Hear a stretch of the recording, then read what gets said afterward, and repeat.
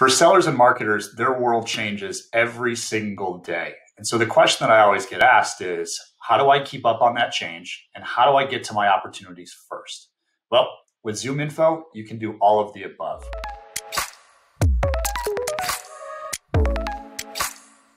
So let's take a look at how ZoomInfo can help keep you up to date on all of this stuff.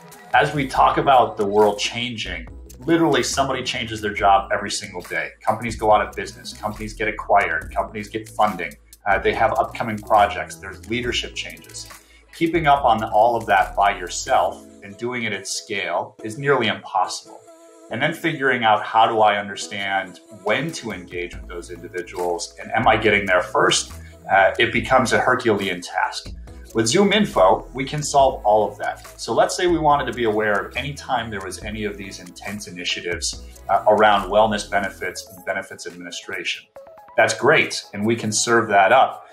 Using our workflow solution, though, we can get you there first and have this run in an automated fashion to keep you connected and keep you in front of your opportunities and enable you to personalize that outreach.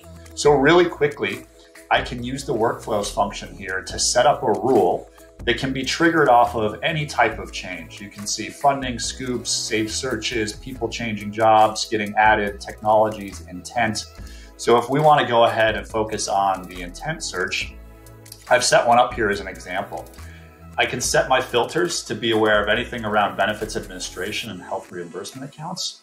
By saving this, then what the system will do is anytime a company spikes on those intent topics, I can whittle it down to my ideal customer profile. So for instance, I will always want to be aware of C-level, VP level, director level contacts that are responsible for compensation and benefits, that have a direct dial phone number and make sure they're at least 100 employees.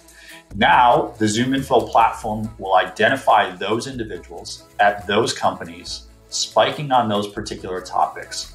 We can connect it with your third party systems, your Salesforce, your Marketo, your sales engagement solutions to scrub out any customers. So in this example, I've connected Salesforce to my uh, instance here to back out any of those customers. And then the last step of this is to have this run in an automated fashion. So now, every time a, an intent um, spike is found at the right companies with those right contacts that are not at existing customers. We can add that into Salesforce, assign it to the, to the proper owner. We can drop them into our sales engagement solution so that these things run in an automated fashion. And I can run this rule daily or weekly.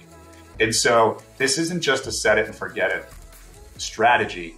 This enables you to stay connected, to be on top of these changes, and to do this at scale so that you can hit your number.